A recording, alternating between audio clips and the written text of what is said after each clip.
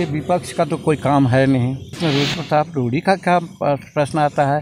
उस पर जाँच होगी। अगर सचमुच में ऐसा हुआ होगा तो मुखिया पर कार्रवाई होगी। देखिए हम तो नहीं समझते हैं कि एनडीए में यहाँ कोई दिखते हैं।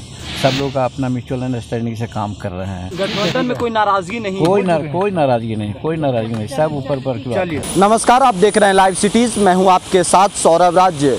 जीतन राम मांझी आज दिल्ली में बीजेपी के राष्ट्रीय अध्यक्ष जेपी नड्डा से मुलाकात किए हैं। आपको बता दें कि जेपी नड्डा से मुलाकात के बाद जीतन राम मांझी तमाम मुद्दे के ऊपर बात की है। आपको बता दें कि जिस तरीके से बिहार में आए दिन लगातार बीजेपी और जेडीयू के तरफ़ से जो बयानबाजी होती रहती है गठबंधन को लेकर के, कहा जाता है कि दोनों के बीच में सब कुछ सही नहीं चल रहा। इसके ऊपर जीताराम मांझी ने साफ़ साफ़ कहा है कि बिहार में सब कुछ सही है। पहले आप सुनिए कि जीताराम मांझी क्या कुछ कहे हैं। एनडीए के बीच में जो खींचतान नज़र आती है उसके ऊपर। कुछ हमारे क्षेत्र से विकास की बातें थी और हम मगह के रहने वाले हैं। उधर पुरजोर मांग है कि मगह को मगधी भाषा है, उसको आठवीं सूची में डाला जाए। उसके लिए लिखित पत्र भी दिया है और कहा है कि भाई गृह मंत्रालय से या जहाँ से हो आप कीजिए। और फिर हमारे क्षेत्र है नक्सलाइट। और वहाँ पर रेल परियोजनाएँ नहीं हैं। तो इसके लिए प्रधानमंत्री जी को ही हमने लिखा था। और प्रधानमंत्री जी ने ही डायरेक्शन दिया इनको कि मांझी जी से बात कर लीजिए। तो हम इस्लामपुर से गया तक और गया से डाल्टनगंज तक दो रेल खंड की बात इनसे किया और वही मगही भाषा के बारे में बात किया।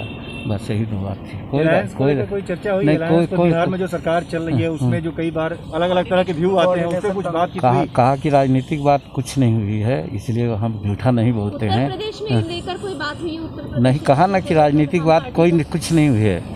ये इनसे जो हम मिलने आए हैं रा प्रधानमंत्री जी का निर्देश था कि इनसे हम मिल लें।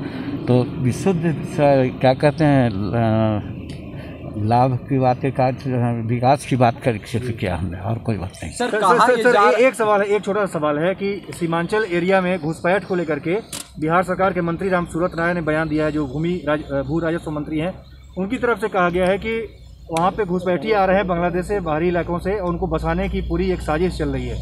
नहीं ये मामला बहुत पहले से वहाँ चल रहा है। अजीत सरकार इसके लिए फाइनल माने जाते थे जो एमएलए थे एम थी सीपीएम का। एक घटना घटती है छोटी मोटी इसका मतलब ये नहीं है कि कोई राजनीतिक बात है कि जानबूझ करके वहाँ एक कौम के लोग बस रहे हैं सो बात नहीं है। इसलिए राम सूरत राय जी अगर बोलते हैं तो उनको नहीं बोलना चाहिए था वो अपना कैबिनेट में या मुख्यमंत्री से विचार करते। और अकॉर्डिंगली जो उपाय हो सकता था कि घुसपैठी ना में वैसा करना चाहिए था। पेपर में जाने के बजाय उनको इस तरह की बात करनी चाहिए थी जो उन्होंने नहीं किया। मैं समझता हूँ कि गठबंधन धर्म का ये कोई उचित ही नहीं है। सर भाजपा सांसद राजीव प्रताप रूडी के सांसद निधि से जो एंबुलेंस खरीदा गया उसमें शराब पकड़ा गया सर विपक्ष सवाल उठा रही है कि यही शराबबंदी है क्या बिहार में? देखिए विपक्ष का तो कोई काम है नहीं। ये कौन मुद्दा है? हम भी एम एल फंड से देते हैं ये को एंबुलेंस देते हैं लेकिन हम देते हैं स्वास्थ्य में। वो दिए थे मंत्री क्या कहते हैं उनको? मुखिया को। अब मुखिया क्या कर रहा है? इसमें रूढ़ प्रताप रूढ़ी का क्या प्रश्न आता है? उस पर जाँच होगी। अगर सचमुच में ऐसा हुआ होगा तो मुखिया पर कार्रवाई होगी। इस शराबबंदी दिन दहाड़े बिहार में बेचा जा रहा है। ऐसा मुख्यमंत्री का ड्रीम में योजना है सर कि बिहार में शराबबंदी पूर्ण रूप से लागू हो। हो नहीं पा रहा देखिए उनकी योजना बहुत उत्तम योजना है और बहुत पवित्र मनसा से किए हैं। जी। और हम भी कहते हैं कि हम उस घर में जन्मे हैं जहाँ शराब का बनना बिकना सब होता था लेकिन हम आज सतहत्तर वर्ष के होने जा रहे हैं हमने शराब नहीं किया तो कौन हमको कोई रोक था क्या? लेकिन और किन से किन से मुलाकात होने का कार्यक्रम है सर? नहीं आज तो हम बैक हो रहे हैं। आज नित्यानंद जी से मुलाकात करेंगे अगर हो सकता है तो और नहीं तो फिर बैक हो जा रहे हैं गया। ये कहा जा रहा है कि जो जेडी और बीजेपी में लगातार खींचतान देखी जा रही है उसमें आपको आगे किया गया है एनडीए के रूप में कि आप सबसे सीनियर लीडर हैं आप समझौता करने के लिए आगे आ रहे हैं। एक बार जब हमने कहा कि हम कोई राजनीतिक बात नहीं करने आए थे तो हम इसको कैसे करते हैं? अगर मौका मिलेगा, हम तो नहीं समझते हैं कि एनडीए में यहाँ कोई दिखते हैं। सब लोग अपना म्यूचुअल अंडरस्टैंडिंग से काम कर रहे हैं।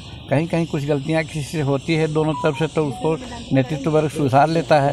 और अगर ऐसी कोई बात होगी तो सही है हम हिंदुस्तानी अवाम मोर्चा में हैं और गठबंधन का एक अंश हैं। तो कोई ऐसी बात होगी तो हम लोग साथ मिल करके सुलझाएँगे। गठबंधन में कोई नाराज़गी नहीं कोई ना कोई नाराज़गी नहीं कोई नाराज़गी नहीं सब ऊपर पर। तो आपने देखा कि जीतन रामान जी साफ़ साफ़ कह रहे हैं कि बिहार में सब कुछ एनडीए के अंदर सही चल रहा है लेकिन उन्होंने एक बात ज़रूर ये बताई कि थोड़ी बहुत नाराज़गी, जो थोड़ी बहुत बयानबाजी होती रहती है, ये होनी नहीं चाहिए। लेकिन ऐसा कुछ बात नहीं है कि गठबंधन के ऊपर कुछ सवाल उठ रहे हैं और गठबंधन के ऊपर कोई खतरा है। बिहार में गठबंधन पूरी तरह से बेहतर चल रही है और आगे भी चलती रहेगी। दिल्ली से सौरभ राज, लाइव सिटीज़।